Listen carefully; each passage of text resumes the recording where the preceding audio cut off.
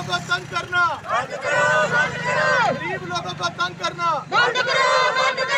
LG administration administration. गरीब लोगों के भी बिल माफ़ करो। गरीब लोगों के बिल माफ़ करो। गरीब लोगों के बिल माफ़ करो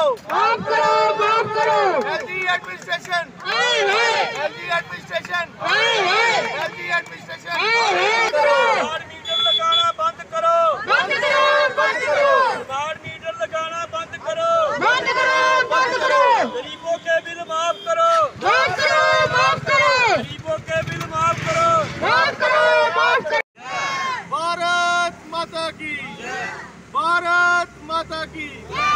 बिजली पानी दे न सके जो। वो सरकार जो। वो सरकार है। बिजली पानी दे न सके जो। वो सरकार है।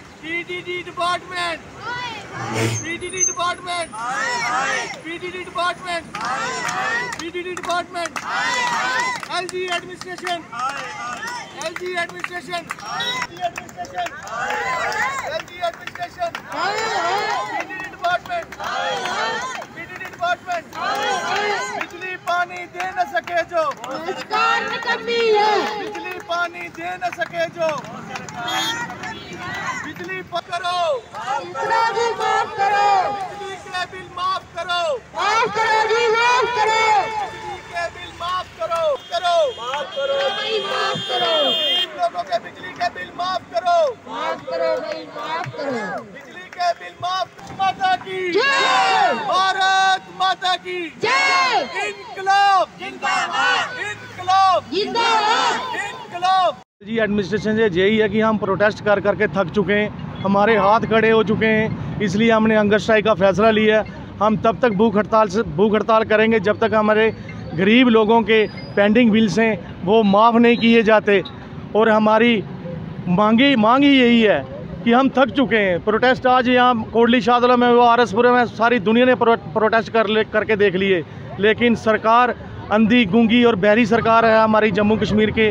हम लोगों को नींबू की तरह नचोड़ा जा रहा है। गवर्नमेंट का काम होता है कि लोगों की आवाज़ सुनना, लोगों के हाथ पकड़ के आगे लेके चलना।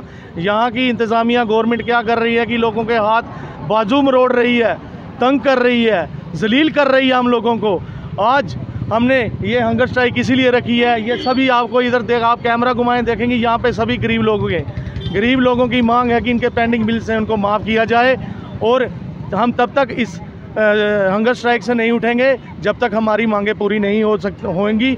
चाहे एक दिन लगे, चाहे हफ़्ता लगे, हम ये गूँगी अंधी बहरी सरकार को ये बताना चाहते हैं कि हम अभी तंग हो चुके हैं, हम किसी को हरास नहीं करें, हम कोई प्रोटेस्ट नहीं करेंगे, क्योंकि इससे आम लोगों को परेशानी होती है। इसलिए हमने ये फैसला लिया है कि हम हंगर स्ट्राइक पे बैठेंगे और ऐसे ही बैठे रहेंगे। आज हमारा फैसला करो, कल करो, परसों करो, लेकिन इन गरीब लोगों को तंग करना बंद करो। उधर भी हमारी कोई सुनवाई नहीं की गई। फिर दोबारा हम इधर हम बैठे हैं धरने पर, मेरी बहन और भाई बैठे हुए हैं। हमारी कोई भी सरकार सुनवाई नहीं कर रहा है।